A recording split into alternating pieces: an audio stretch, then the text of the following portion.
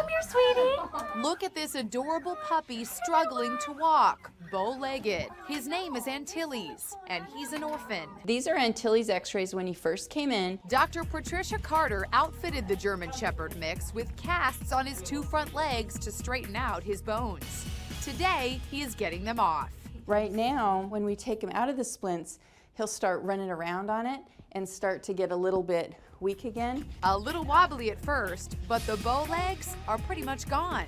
Once Antilles is fully healed, he will be available for adoption at the Helen Woodward Animal Center just outside San Diego. May not be a marathon running dog, but he's certainly going to make a good pet. He's a good boy.